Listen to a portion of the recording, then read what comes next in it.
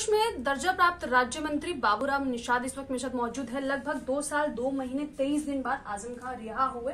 लेकिन इस दौरान एक पिक्चर सामने आई, जिसमें शिवपाल यादव तो नज़र आए, लेकिन अखिलेश यादव नहीं। ये समाजवादियों का खेल है। आज़म खान जी ने बहुत बड़ा खेल खेला, सत्ता की कुर्सी में बैठकर। उनको सजा मिली न्यायपालिका ने सजा दी।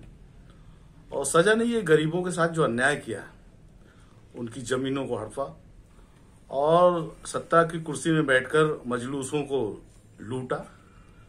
निश्चित रूप से ये दिन अभी कम है। अभी इनके दिन और बढ़ेंगे। मुझे ऐसा अखिलेश यादव जी ट्वीट करते हैं पहुँचे तो नहीं सीतापुर जेल के बाहर लेकिन उन्होंने कहा झूठ के लम्हे होते हैं सदियाँ नहीं। भाजपा पर क्या निशाना साधना चाह रहे हैं आखिर अखिलेश यादव?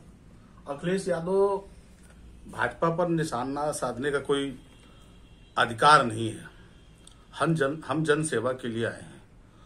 और जन सेवा के स्तर पर हमारी सरकारों के माध्यम से, जो आज़ादी के बाद कोई नहीं कर पाया, वो मोदी जी और योगी जी और अमित शाह जी करके दिखा रहे हैं। आम जनता लगातार हम पे भरोसा और विश्वास करती चली जा रही है, और हम धरातल पर दिनों दिन मज़बूत होते जा रहे हैं। एक सवाल मेरा यहाँ पर ये है कि जिस तरीके से शिवपाल यादव पहुँचे, क्या अखिलेश यादव को वहाँ नहीं पहुँचना चाहिए था? शिवपाल यादव अखिलेश यादव आज़म खान या साहब ये